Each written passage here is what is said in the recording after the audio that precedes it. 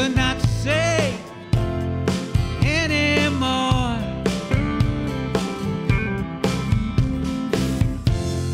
History will write our story.